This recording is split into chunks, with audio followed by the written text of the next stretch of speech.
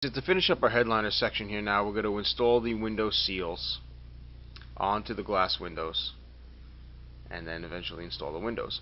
What you want to do is you want to use there's a fused section on the rubber and you want that to be in the center and bottom portion of the front window. I'm using West Coast metric seals here. These are uh, these are great seals to work with. I, I highly recommend them. I would try to avoid the Brazilian or the Mexican seals. They're just too hard. Uh, the West Coast metric is nice and soft and uh, is real easy to work with. As you can see also I'm working in an outside area so the sun is beating on the seal and it's nice and soft. But what I'm showing you here is part of the seal where the grooves are. Uh, the flat portion of the seal with the groove is what will go around the window. The other groove is for the chrome and that you'll notice is on the outer flap. You want to make sure you're getting it on correctly. Um, but uh, as you see here I'm starting on the corners first just trying to work my way around and okay just keep working it upward and around you see here I started in the corner and you see that's like the flat portion of the seal where the groove is. That's how you know that part goes around the window. And then basically I just kinda wiggle and pry and open up that groove to get the seal on there. And like I said, it's a lot easier when you're out in the sun because at least the sun is warming the seal and it makes it softer. So you can look closely here as I'm Sometimes I kind of get the top portion of the groove on the window and then pull downward to open the seal a little bit to then get the seal on. Um, this is the way, you know, I've, I've been doing it for a while. Um, in the beginning it might be a little tricky and a little funny, but you pretty much get the hang of it. Uh, take some time, so just go slow and you know, no rush here. And make sure the groove is all the way on.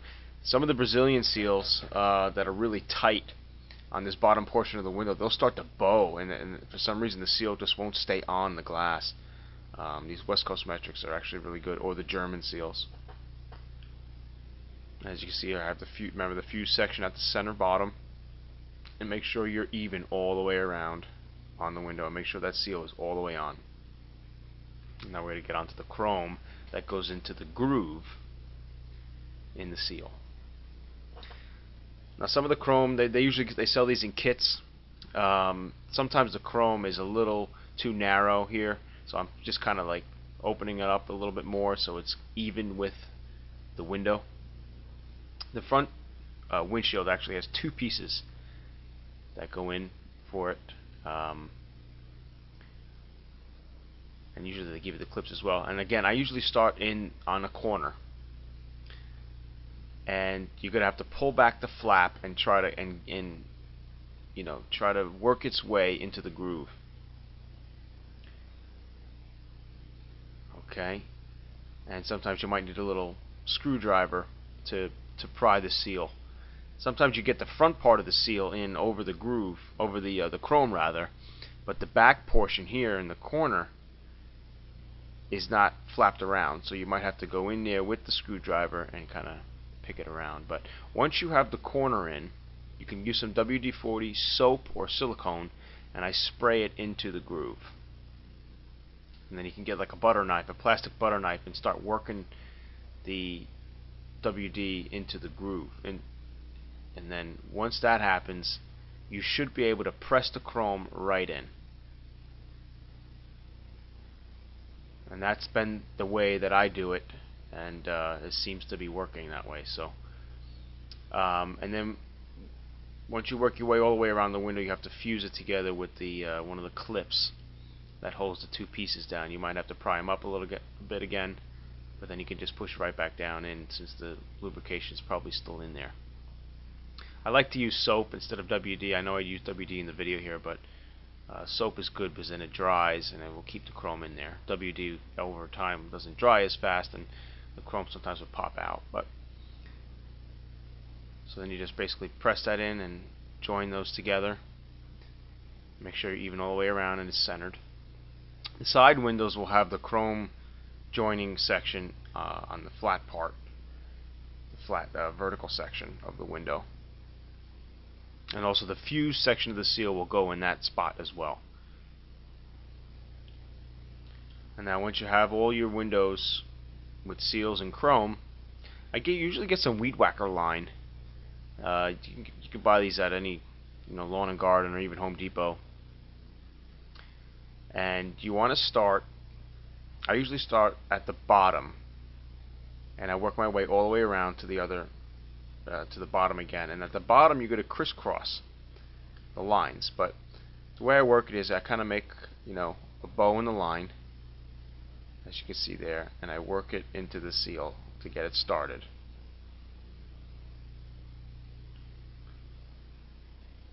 Okay. And then basically I start just rolling the line into the seal. And you basically you're going to put that into the inner flap. This is the flap that goes inside the car and is going to wrap around the lip opening where the window goes See, and you crisscross them at the bottom.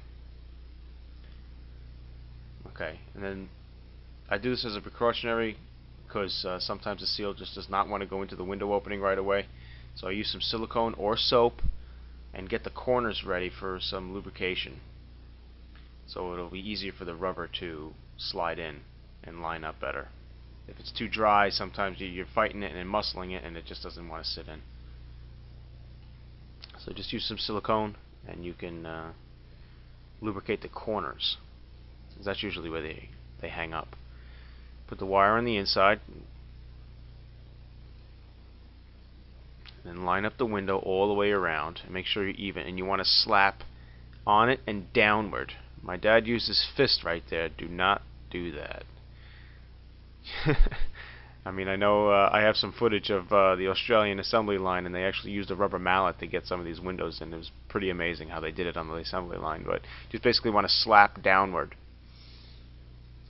So sometimes I start with pliers, and you start pulling upward, and the lip will come over. Uh, the, I'm sorry, the rubber seal will come up over the lip of the car. And basically, I start from one section and work my way up to halfway up the sides. And you can see what I'm doing. Sometimes it's it's a little tough to pull it, but you want somebody on the outside slapping as well to get it in there. Now I start on the other side, and again you go up the sides and stop pretty much halfway. Now you're seeping the window in well. If you want to continue from this side, you can, or you just switch like what I'm doing here I switch and go on the other side now. Now as I'm pulling you notice my father's on the outside and he's still continuing to slap the seal in. You got to keep working it. But what he has to do is once you pull the wire have him hit behind where you're moving because that will then move the rubber seal uh, inward to inward into the car more. And that's what you want. You want it to seat around that lip just keep pulling and go slow. And then you can kind of switch sides again and meet up basically in the top middle. Sometimes it gets a little tight and I use a pair of pliers to pull them but this one was okay. There you go. Then sometimes the outer seal is tucked into the car so get an implement that's not really too sharp that you can get under the rubber and uh, pull that lip out. You can actually use that the end of a, a paintbrush sometimes that's plastic and it's it's not sharp so that sometimes works really well. Nice. You wanna? We did the same thing on in the front windshield. On the front windshield is is on these years where the windshield was completely flat. Um, you got to be careful because they're known to break. Um, by 65, they had a bow in the window, and so it's a little bit easier to get in. But as you can see, the window's not seating in all the way. So we're going to use some soap or WD-40 to get it in. And again, you want to slap it in and slap downward. We put some lube on the corners of the opening and you slap down. as you can see here. And you want it butt up against that lip on the body of the car. If you have any space or gap, you got to keep working it into the opening. If you do that, you can really bust the window, and you don't want that. So I'm starting from the center and pulling outward.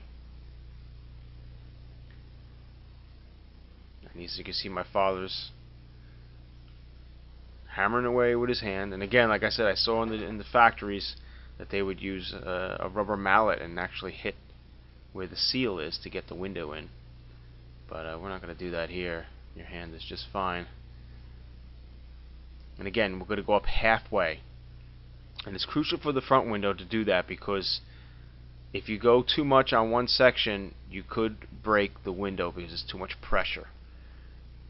So as you can see, I'm holding one side and pulling on the other and going up halfway. Keep an eye on everything and make sure all the seals are close to that lip. You don't want any space because you'll wind up pulling the wire out and then the lip will not come around into the car and then you got to start again.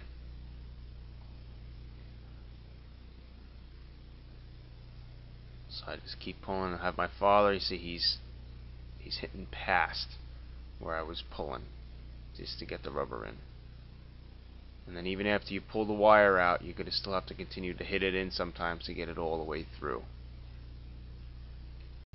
So this is the end of the headliner installation. We have all our windows in, and as you can see, uh, looks really nice uh, putting this headliner in. Uh, a couple wrinkles here and there that we can continue to work, uh, but for the most part, uh, very presentable. Okay, so here we are with our completed 1961 ragtop Beetle. Uh, for the most part, I feel our headliner came out excellent.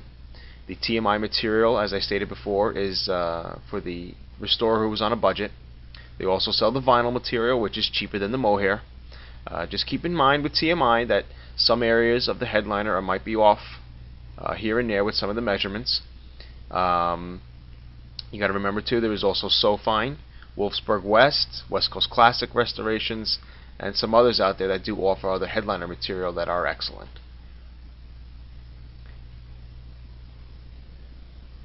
Now when you're putting your closing your top for the first time, I suggest um, leaving it out in the sun to beat so it will stretch and uh, have a nicer fit. Ours fits pretty well here. Uh, we can still make some adjustments on the bows and on the pockets and also uh, the mechanism. Um, and as I stated, see here in the TMI, the, the center square section is just a little off where it meets the sides. Uh, but for the most part, it gets the job done. And uh, if you own a ragtop Beetle, uh, I suggest you hold on to it. They're awesome to drive, and they're only appreciating in value. And um, if anybody has any questions about this video, please do not hesitate to contact me at chris at classicvwbugs.com. And uh, I am here to help you out anytime, anywhere. I hope you enjoyed this video. Take care.